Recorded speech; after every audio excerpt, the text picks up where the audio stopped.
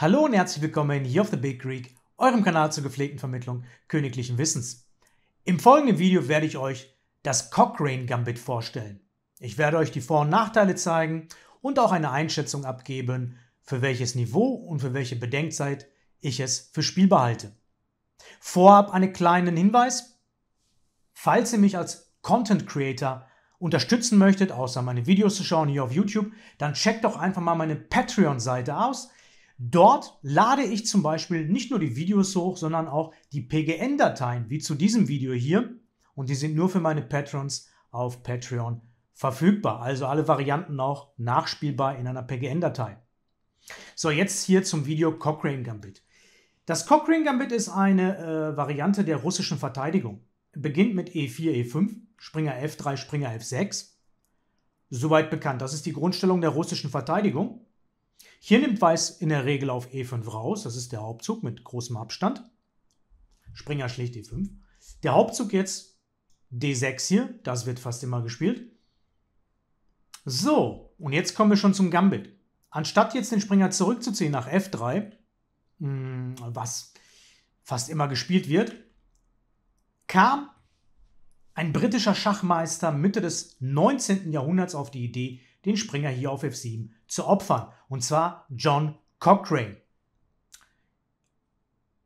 Die erste Partie in der Datenbank, die ich gefunden habe, ist aus dem Jahr 1848 von John Cochrane.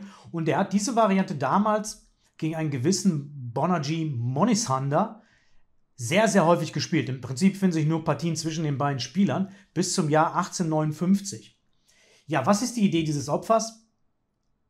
Schwarz muss es erstmal natürlich annehmen mit dem König, sonst verliert er Material. Dame und Turm sind angegriffen. Die Idee ist eigentlich, den König raus äh, zu provozieren, dass der König rauskommt. Die Rochade geht kaputt ne, bei Schwarz. Ähm, und Weiß bekommt, also Schwarz verliert das Rochaderecht und Weiß bekommt zwei Bauern für die Figur. Das ist materiell betrachtet nicht genug, aber schauen wir uns an, was passieren kann.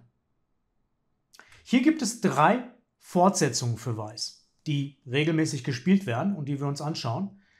Ähm, der beste Zug Springer C3, zu dem komme ich zum Schluss. Fangen wir an mit den Zügen, die sehr häufig gespielt werden. Läufer C4 zum Beispiel, Schach. So setzte zum Beispiel John Cochrane damals fort. Immer Schach geben, direkt.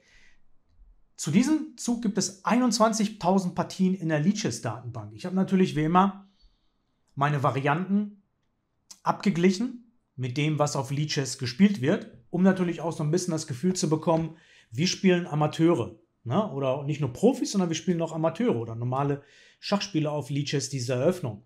Hab ich ich habe natürlich auch das gesamte, die gesamte Variante auch ähm, mit einem Buch abgeglichen, das beim Quality Chess Verlag rauskam, vor einigen letztes Jahr irgendwann über die russische Verteidigung. Da ist natürlich das Cochrane Gambit nur ein ganz kleiner Teil von. Aber ich wollte natürlich wissen, was schreibt der Autor aus schwarzer Sicht, was das Beste ist. Nun gut, Läufer C4 Schach.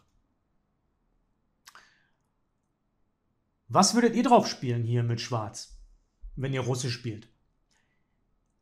Kommen wir zu dem Zug, der am häufigsten gespielt wird. Das ist Läufer E6 hier, aber das ist schon eine Ungenauigkeit. Warum? Weil nach Läufer schlicht E6 Schach, König schlicht E6, der König jetzt sehr schlecht steht hier auf E6 und Schwarz braucht sehr viel Zeit, um den wieder in Sicherheit zu bringen.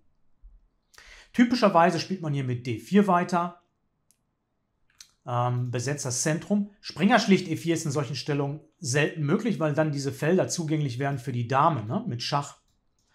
Also Springer schlägt E4 geht so gut wie nie, wenn der König ähm, rausgedrängt wird, auch wenn der König auf F7 steht, auch nicht. Hier geht der König zurück nach F7.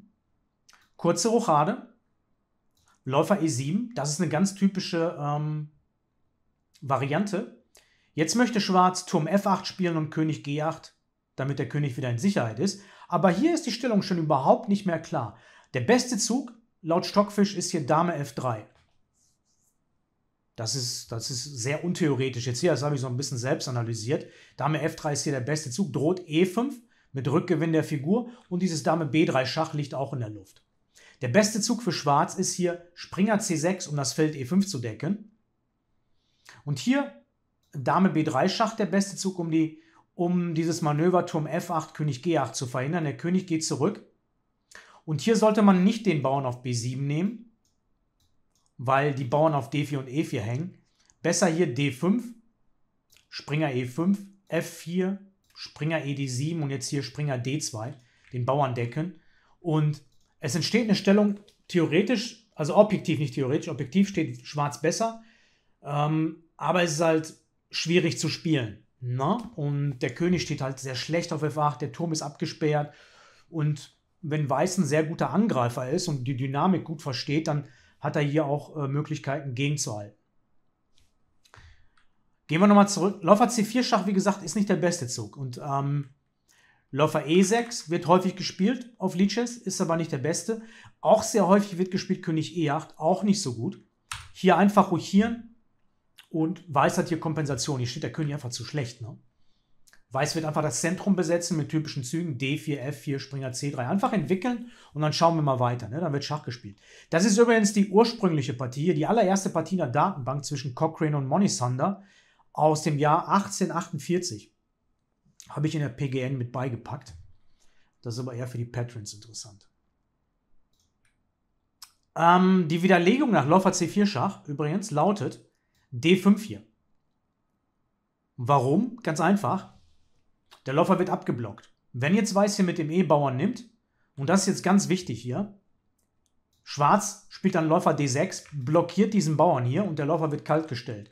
Und dieser Doppelbauer ist nervig für Weiß. Eigentlich möchten wir die Bauern auf E4, D4, F4 haben mit Weiß, um anzugreifen, ne, mit so einer Phalanx. Aber wenn so ein Doppelbauer da steht, das ist nicht so toll. Hier wird Schwarz problemlos den Turm nach E8 oder F8 spielen, König G8, seinen König in Sicherheit bringen und objektiv steht er klar besser. Ein kleiner Hinweis hier, großer Fehler wäre hier natürlich Springer schlicht D5. Wie ich schon erwähnte, der Springer ist wichtig hier als Verteidigungsfigur, um diese Felder zu decken. Jetzt kommt Dame H5 Schach. Nee, Quatsch, Dame F3 hier. Dame H5 auch, aber Dame F3 ist noch klarer. Mit Doppelangriff. Und Weiß gewinnt hier die Figur zurück und steht hier einfach auf Gewinn. Er hat einfach zwei Bauern mehr. Also König E6, Dame E4 Schach. Und dann bekommt er den Springer wieder. Das ist komplett gewonnen. Also Springer D5, ein wichtiges Motiv. Muss Schwarz aufpassen. So, das war Läufer C4 Schach. Moment, Läufer C4, D5. Kurzer Hinweis noch aus weißer Sicht. Nicht mit dem E-Bauern hier nehmen. Der beste Versuch ist hier noch Läufer B3 zurückzuziehen. Das ist hier, ähm, naja, aber das, das wird kaum gespielt. Ähm, C5 hier ist der stärkste Zug mit der Idee C4. Irgendwann muss Weiß nehmen. Jetzt muss Weiß ein Nehmen auf D5. Und jetzt Dame E8 Schach ist sogar ein sehr guter Zwischenzug. Und dann Läufer D6 und das ist einfach gut für Schwarz. Ne? Den Bauern hier blockieren. Also, Läufer C4 Schach kann man spielen, ist aber eher ein Bluff. Wenn Schwarz D5 kennt, ah, dann ist er sehr, sehr dünn für Weiß. Wenn Schwarz Läufer E6 spielt oder König E8, hat man eine gewisse Kompensation mit Weiß.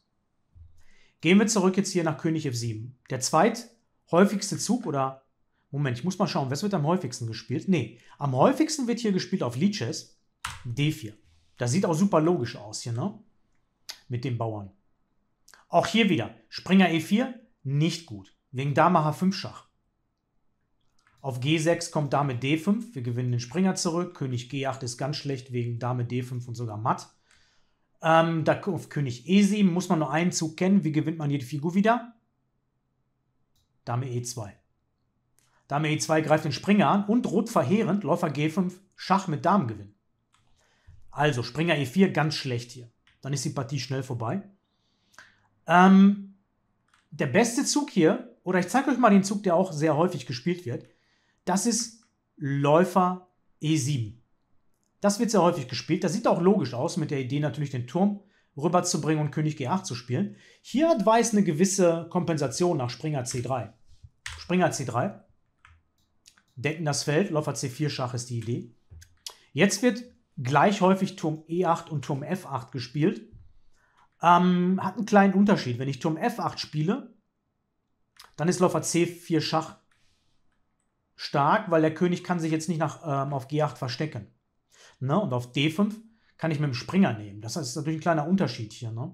Ich muss nicht mit dem Bauern nehmen. Läufer E6 und hier ganz starker Zug Dame E2. Das sollte man kennen. Warum Dame E2 deckt hier den Bauern? Und ähm, das Beste ist Läufer D5, E schlicht D5. Jetzt droht hier Dame E6 Schach, deswegen auch äh, dieser Zug. Läufer B4 Schach der Beste, C3, Turm E8, Läufer E3, Läufer D6. Das habe ich so ein bisschen für mich analysiert. Und hier gibt es einen ganz starken Zug für Weiß, nämlich G4. Und Weiß hat hier ähm, mehr als ausreichende Kompensation. Er hat drei Bauern für die Figur und G4, G5 ist sehr nervig für Schwarz. Lange Rochade kommt und dann, ja, dann haben wir eine Partie. Dann haben wir äh, eine schöne Partie, bei der wir Spaß haben hier, den König attackieren können. Ne? Da haben wir was mit Weiß. Ähm, gehen wir zurück zu dieser Stellung hier. Also Läufer E7, hier. Springer C3. Turm E8 ist stärker als Turm F8. Ganz einfach wegen Läufer C4 Schach. Und jetzt kann der König auf F8 sich verstecken. Ja. Die Partie ist noch nicht vorbei hier. Die geht weiter mit. Ja, hier kann man Rochade spielen. Ne? Und dann spielt man einfach eine Partie Schach. Ne? Eventuell F4, E5. Ne? Das sind so die Standardideen hier im Cochrane Gambit ne? mit Weiß. Man muss auch immer bedenken, es ist nicht angenehm für Schwarz, mit dem König die ganze Zeit da so rumzuirren. Und diese ganze Armee am Damenflügel spielt da die ganze Zeit nicht mit. Ne? Also materiell Vorteil für Schwarz, aber schwierig zu spielen. Ähm, das war D4 noch nicht ganz, denn jetzt kommt der beste Zug nach D4. Aus schwarzer Sicht sollte man ihn kennen und das ist C5. Die sofortige Attacke auf das weiße Zentrum. Und das ist auch der beste Zug. Da gibt es ungefähr 8000 Partien auf Lichess. Ähm, wird ähnlich häufig gespielt wie Läufer E7, was nicht ganz so gut ist. Okay, C5. Was ist hier das Beste aus weißer Sicht? Springer C3. Läufer C4 Schach ist nicht so gut wegen D5 wieder. Ähnliches Motiv. E schlicht D5 und Läufer D6. Hatten wir schon. Hier muss Weiß vorsichtig sein. Es droht, kommt Turm E8 Schach hier. Also Rochade, und dann einfach weiterentwickeln. Und das Problem ist immer, immer wenn wir das blocken hier mit dem Läufer, das ist einfach nicht gut für Weiß. Deswegen Läufer C4 Schach sieht zwar toll aus, aber D5 ist halt immer eine harte Widerlegung. Besser erstmal Springer C3, Entwicklung, Bauern decken, dieses Feld decken und Läufer C4 Schach vorbereiten. Bester Zug hier, C schlägt D4. Das Beste aber ist logischer Zug. Ähm, Läufer C4 Schach. D5 habe ich analysiert. Und hier Springer schlicht D5. Man kann auch mit den Bauern auf D4 nehmen, man kommt aber Springer C6 mit Tempo. Läufer E6 hier. Läufer G5. Springer C6 zum Beispiel. Rochade. Das ist hier eine Fernschachpartie. Natürlich in einer Partie auf Leeches würde es nicht unbedingt so laufen. Läufer E7, Springer E7 vielleicht hier, Dame E7, Läufer D3. Ihr seht schon, wenn Schwarz sehr stark spielt, dann ist es alles sehr, sehr dünn. Ne? H6, Läufer H4, G5, Läufer G3. Und der König versteckt sich auf G7 irgendwann. Natürlich, die Partie ist noch nicht vorbei, aber objektiv hat Schwarz Vorteil. Ne? Wir können natürlich weiter angreifen hier mit F4, versuchen die Stellung zu öffnen. E5 eventuell, aber prinzipiell hier schwarzer Vorteil. Das war halt D4. Bester Zug C5. Ne? Und dann na, nach C5 ist halt echt schwierig. Springer C3 hier. Was gibt es sonst noch für Züge? D schlicht C5 gibt es auch hier. Das kann man auch probieren wegen der Fesselung hier. Aber hier spielt Schwarz D5 auch. Und ja, hier muss man natürlich ein bisschen was kennen. Ne? Also wenn natürlich die, die Leute die Varianten kennen, dann haben sie natürlich einen Vorteil gegenüber anderen Spielern. Ne? Springer äh, E5 hier, Springer G4, Läufer C4, sehr interessant. Läufer schlicht C5, Gegenangriff hier auf F2.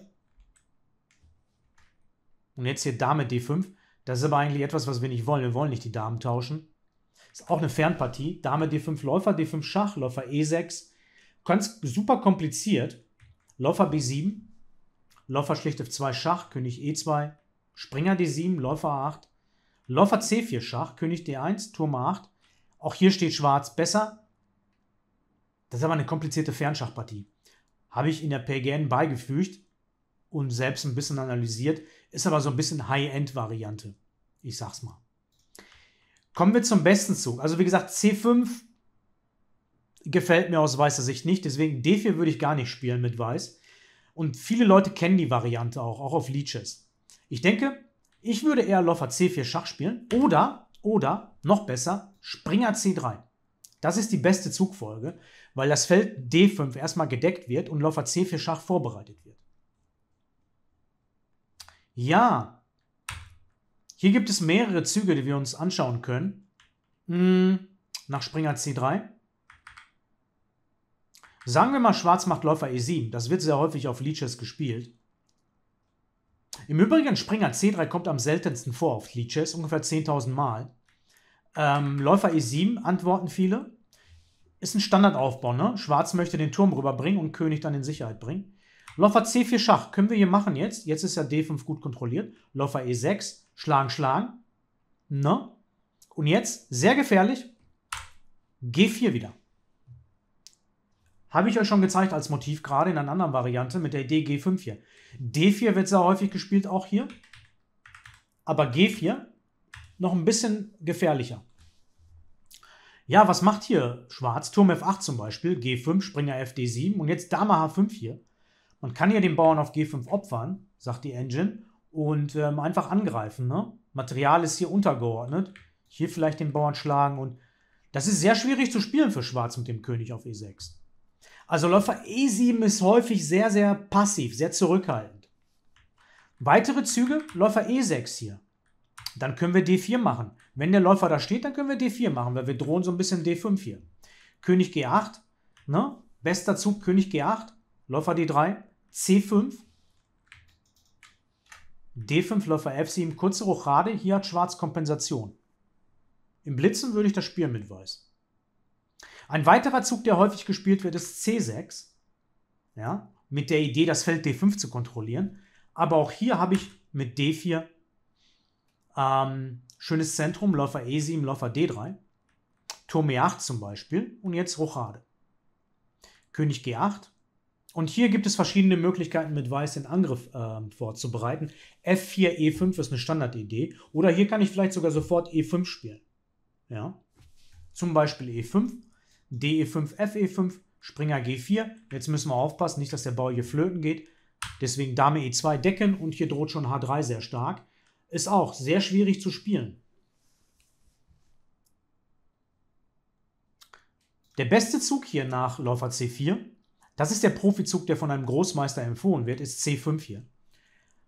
Ähm, auch wieder das Feld D4 decken. Läufer C4 Schach, Läufer E6, D5 hier nicht ganz so gut wegen Springer D5. Ne? Also Läufer E6, Läufer schlicht E6, König schlicht E6 und jetzt D4 hier. Das Zentrum attackieren. Man kann natürlich auch hier versuchen, auch G4 zu spielen, aber hier fällt das ein bisschen anders wegen C5. D4 hier. Und hier gibt es auch eine sehr berühmte Partie zwischen zwei Ex-Weltmeistern, Veselin Topalov und Wladimir Kramnik aus dem Jahr 1999. Sehr, sehr äh, alt, ne? Zwischen zwei Supergroßmeistern. Dort spielte Kramnik König F7. C schlicht D4, da gibt es viele Partien zu. Dame D4, Springer C6 und Dame C4 Schach. König D7, Läufer F4. Das hier ist ähm, riesige Kompensation für Weiß. Also das würde ich eher mit Weiß spielen, mit der Idee lange Rochade. Hier gibt es sehr, sehr viele Partien auf Leeches. Ähm, weil viele immer automatisch aus Reflex schlagen, wenn sie was schlagen können, ist ja aber nicht richtig. Nicht, nicht schlagen auf D4 aus schwarzer Sicht. König F7 zurückziehen. Und hier D schlicht C5. Weiß hat immerhin drei Bauern für die Figur jetzt. Springer C6, Dame E2 hier, mit der Idee Dame C4 Schach. Jetzt bester Zug Dame D7, um die Dame hier zwischenzustellen. Und hier der beste Zug, kurze Rochade. Damals spielte Topalov Läufer E3 gegen Kramnik. Besser ist aber Rochade, Turm E8 zum Beispiel. C schlicht D6 und jetzt Dame schlicht D6. Ähm, Weiß hat immerhin drei Bauern für die Figur. Die Engine sagt, dass nach Läufer G5 zum Beispiel und Dame E6 ähm, Schwarz besser steht, aber das ist nicht so einfach zu spielen. Materiell ist Weiß nicht unbedingt schlechter, aber Schwarz hat sich so ein bisschen hier natürlich gut entwickelt jetzt, ne? Vier Figuren im Spiel, aber der König steht weiterhin schlecht. Das ist so die Profi- Variante, ne? wenn das Profis spielen würden, auch over the board. auf Leeches gibt es ja ganz wenig Partien zu und ganz wenig Material. Ja, das waren die allerwichtigsten Varianten und äh, zum Cochrane Gambit, meine Ausführungen hier auf YouTube. Wie gesagt, die PGN werde ich auf Patreon hochladen. Dort können das auch Patrons, ähm, die mich unterstützen, ähm, dann nochmal einsehen. Für die, auf, die das Video auf YouTube schauen, die können natürlich auch die Varianten rausschreiben. Ne? Das kann man ja immer machen. Das mache ich zum Beispiel auch immer wieder mal, äh, wenn ich die PGN nicht habe, bei Videos. Cochrane Gambit. Ja, für wen ist es geeignet? Ich denke, im klassischen Schach ist es sehr zu gefährlich, weil die meisten russischen Spieler, die kennen so die Widerlegung, so mit ähm, diese D5-Kontergeschichten und in der Hauptvariante mit D4, mit C5 zu spielen, ja. Ähm, die kennen die Sachen halt, ne?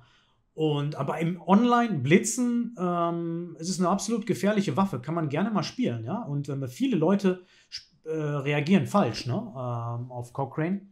Ähm, ich würde Läufer C4 immer wieder mal spielen und gucken, ob der Gegner D5 kennt. Ähm, weil Läufer E6 und König E8 wird am meisten gespielt, das ist aber nicht so gut. Und objektiv am besten ist Springer C3 aus weißer Sicht, mit der Idee, Läufer C4 vorzubereiten. Und es gibt immer wieder ähnliche Motive. Ne? Schwarz darf, ähm, muss aufpassen, ne? dass er hier nicht mit dem König zu sehr rausläuft und Weiß hat natürlich die typischen Ideen mit kurzer Rochade F4, D4, ne? Oder mit G4, G5 in einigen Varianten aus weißer Sicht. Also, Cochrane Gambit ist nicht so super seriös, objektiv, aber kann man spielen. Ist auf jeden Fall Schach und ähm, give it a try. Probier's aus. Hab Spaß dran. Einfach mal was opfern und gucken, ob man damit durchkommt. Wieso nicht? Ich hoffe, das Video hat euch gefallen. Checkt auch meine anderen Videos aus in dieser Reihe. Ne? Ich habe schon einige Gambits hier auf YouTube ähm, ausführlich analysiert. Würde mich freuen und checkt auch meine anderen Kanäle aus, The Big Rig Highlights und The Big Rig Shorts. Macht's gut.